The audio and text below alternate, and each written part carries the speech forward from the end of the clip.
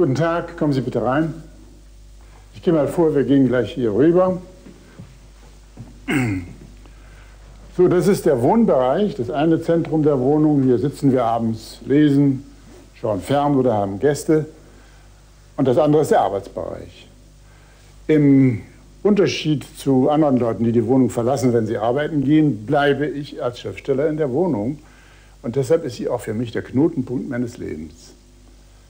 Meine Frau hat die Wohnung gefunden, vor 23 Jahren. Ich schrieb damals an einem Buch und sie hat die Wohnung gesucht. Ja, ich habe eine Zeit herumgesucht und dann diese Wohnung gefunden. Ich habe sie angesehen und fand sofort, das ist die geeignete Wohnung für uns mit den zwei Bereichen, dem vorderen Bereich für die Familie und von diesem vorderen Bereich habe ich diesen Raum für mich genommen, mit einem Hobbyschrank für mich, einen kleinen Nähbereich, wenn ich mal dazu komme, und innerhalb der großen Bücherwand dann die Werke meines Mannes, Werkausgabe, die Taschenbücher, die Originalausgaben in der Mitte, unten die Übersetzungen und die Bücher über meinen Mann und vor dem Fenster mein Arbeitstisch für die täglichen Büroarbeiten, denn wir sind Kleinstunternehmer als freie Schriftsteller.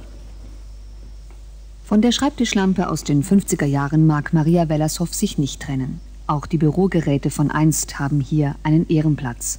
Es sind Geschenke der beiden Töchter. Hier sitze ich meistens abends, wenn ich lese. Es hat sich einfach so ergeben. Ich glaube, das hängt damit zusammen, dass ich dann die Außenwelt im Rücken habe und in den Raum hineinschaue oder eben nur in mein Buch. Die Räume, sehen Sie, gehen hier ineinander über. Hier ist sozusagen der Basisraum für das Leben, Essen und Trinken, und zwar Produktionssphäre und Konsumbereich. Die stabile Holzküche ließ Dieter Wellershoff von Handwerkern aus der Eifel einbauen, als die Familie 1977 hier einzog.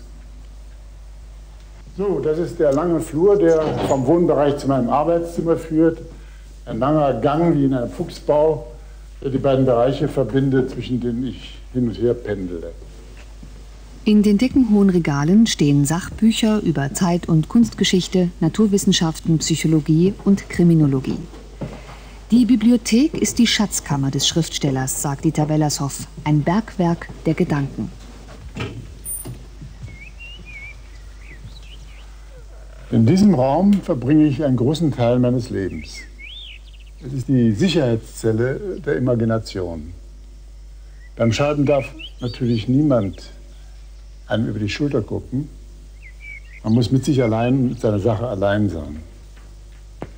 Aber der Raum hat natürlich auch Fenster. Wir haben dieses Fenster ein, einbrechen lassen.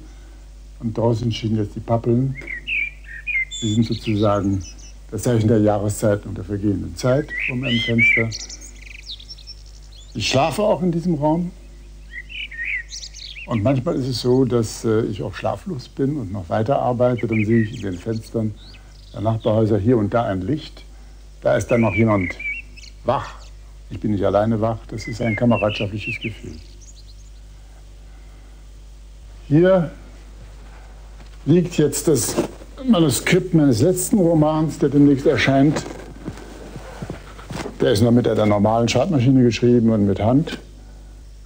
Korrekturen sind mit Hand.